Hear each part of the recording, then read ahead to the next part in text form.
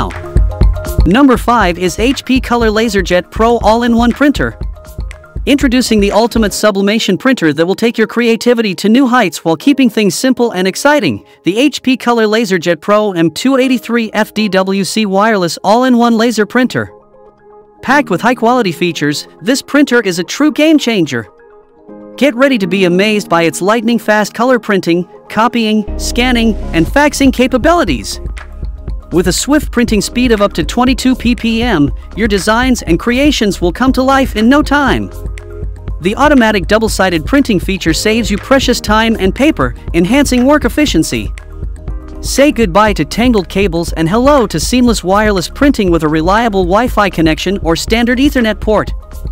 You can trust the dual-band Wi-Fi to deliver stable performance, ensuring your printing, scanning, and copying tasks are flawlessly completed. But that's not all.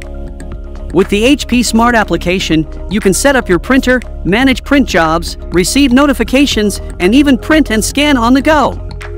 It's like having a personal assistant for all your printing needs.